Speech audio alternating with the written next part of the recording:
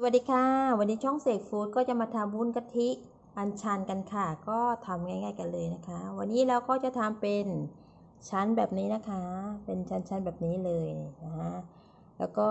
ไปดูวิธีทำกันเลยค่ะ ค่ะ เดี๋ยววันนี้เราก็จะใช้น้ำอัญชันนะคะ อยู่ที่หนึ่งถ้วยตวง แล้วก็กะทิค่ะอยู่ที่หนึ่งถ้วยตวง เราก็นำน้ำอัญชันค่ะ ใส่ลงไปในหม้อเลย เราก็จะเพิ่มสีสันเล็กน้อยนะคะ เราก็จะบีบมะนาวลงไปค่ะ ให้สีมันเพิ่มจะออกเป็นสีม่วงๆหน่อยค่ะ ประมาณหนึ่งซี่ค่ะ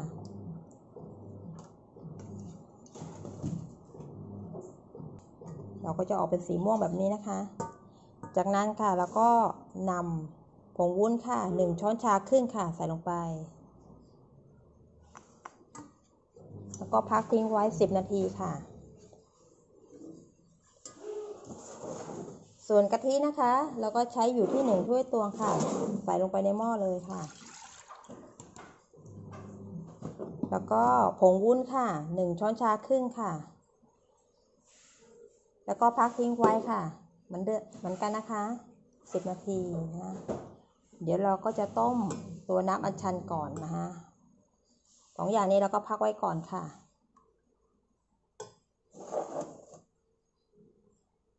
ค่ะจากนั้นนะคะเราก็นำวุ้นอัญชันค่ะ มาต้มให้ผงวุ้นละลายให้หมดค่ะ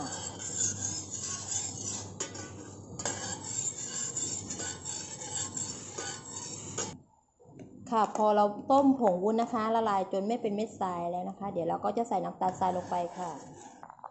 เราจะใส่น้ำตาลทรายลงไปนะคะ ประมาณ 80 กรัมค่ะ คนให้น้ำตาลทรายละลายให้หมดค่ะ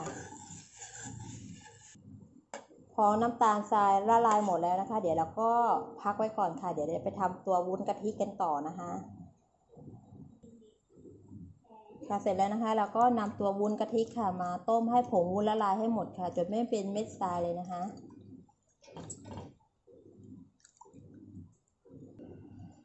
ค่ะตอนนี้ผงวุ้นของเราก็ละลายหมดแล้วนะคะ เดี๋ยวเราก็จะใส่น้ำตาลทรายลงไปค่ะ ใช้น้ำตาลทรายอยู่ที่ 70 กรัมนะคะ ใส่ลงไปเลย และเกลือป่นค่ะอยู่ที่ครึ่งช้อนชาค่ะ คนน้ำตาลทรายและเกลือนะคะ ให้ละลายให้หมดค่ะ ค่ะพอน้ำตาลทรายและเกลือละลายให้หมดแล้วนะคะ เดี๋ยวเราก็จะนำไปใส่ถาดหรือใส่พิมพ์ต่างๆ ของเราเลยค่ะ ค่ะ เดี๋ยวเราก็นำถาดนะคะ หรือว่านำพิมพ์ต่างๆของเรานะคะนำมาแช่รองด้วยน้ำแข็งนะคะ แบบนี้ค่ะ ให้มันเย็นๆค่ะ เราก็จะนำวุ้นนะคะ เราจะใช้วุ้นอัญชันก่อนนะคะ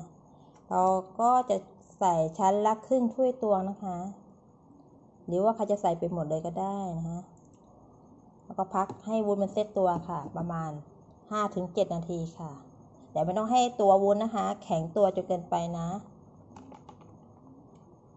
พอให้มันเซตตัวให้ผิวหน้าวุ้นของเราค่ะ ตึงๆก็โอเคใช้ได้ค่ะ เดี๋ยวค่อยนำวุ้นกะทินะคะ มาใส่อีกชั้นหนึ่งค่ะ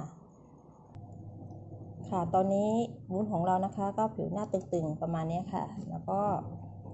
นำวุ้นกะทิค่ะ ใส่ลงไปค่ะครึ่งถ้วยตวงค่ะ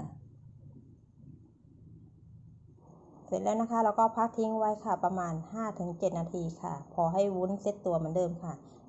ตัวนี้นะคะเราจะทำอยู่ทั้งหมด 4 ชั้นนะคะค่ะ ตอนนี้วุ้นกะทิของเราก็เริ่มเซตตัวแล้วนะคะ เราก็ใส่วุ้นอัญชันลงไปค่ะทำแบบนี้ค่ะไปเรื่อยๆค่ะ จนหมดเลยนะ โอเค ไว้ก่อนค่ะ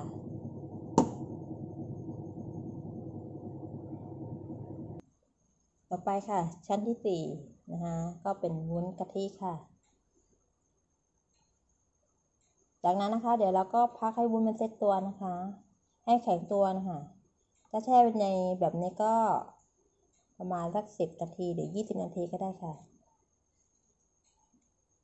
แล้วก็พักทิ้งไว้ค่ะ เดี๋ยวค่อยนำมาตัดทานนะคะ อันนี้ก็พักไว้ประมาณยี่สิบนาทีค่ะ แช่ไว้ในนี้เลยค่ะ โอเคค่ะ ตอนนี้วุ้นของเราก็เซตตัวแล้วนะคะ นี่เดี๋ยวเราก็จะมา ตัดทานกันเลยค่ะ ก็แค่แค่ออกหน่อยนะฮะโอเค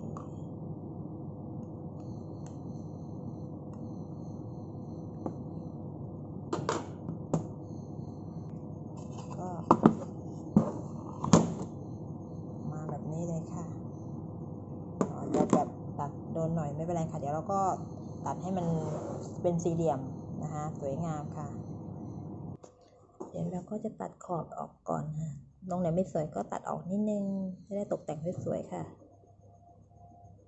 โอเคเดี๋ยวนี้ไว้กินเองได้ให้ดูตรงชั้นนะคะ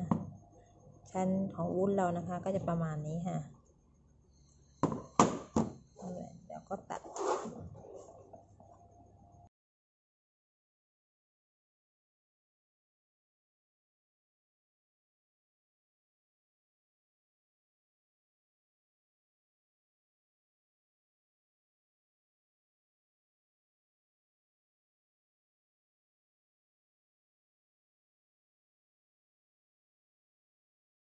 ค่ะ ตัววุ้นของเรานะคะก็จะเป็นแบบนี้ค่ะ ชั้นก็สวยค่ะ ตัวชั้นก็จะติดกันดีค่ะ แบบนี้เลยก็ไม่มีตัว ไม่มีการแยกออกจากกันนะคะ แบบนี้นะคะ ก็เสร็จเรียบร้อยค่ะ เดี๋ยวเราก็นำไปใส่จานตักเสิร์ฟเลยค่ะ ค่ะก็เสร็จเรียบร้อยค่ะ วุ้นอัญชันกะทิของเรานะคะ ก็ทำง่าย ๆ กันเลยนะะตัววุ้นก็จะไม่กรอบจนเกินไปและไม่อ่อนจนเกินไปค่ะ ความหวานก็หวานกำลังพอดีนะ ก็ทำง่าย ๆกันเลยค่ะ ก็ลองไปทำดูนะคะไม่ยากค่ะสำหรับวันนี้ก็ขอจบเพียงแค่นี้นะคะ ไว้เจอกันใหม่ในคลิปหน้า สวัสดีค่ะ